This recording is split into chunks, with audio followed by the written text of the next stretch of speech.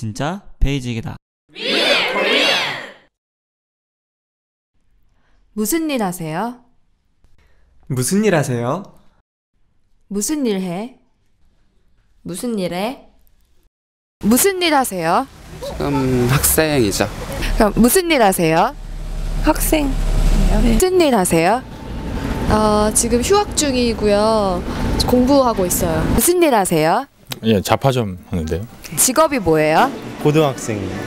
무슨 일 하세요? 네, 여기서 분식을 하고 있습니다. 무슨 일 하세요? 반찬 가게를 하는데요.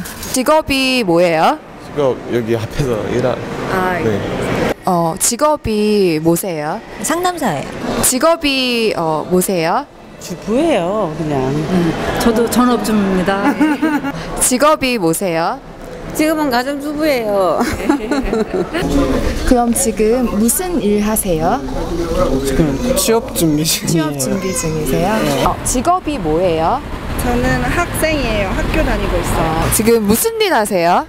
아, 이 개인 정점 운영하고 있거든요. 네네. 무슨 일 하세요?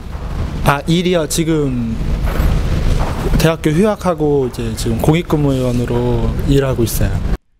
무슨 일 하세요? 무슨 일 하세요? 무슨 일 해? 무슨 일 해?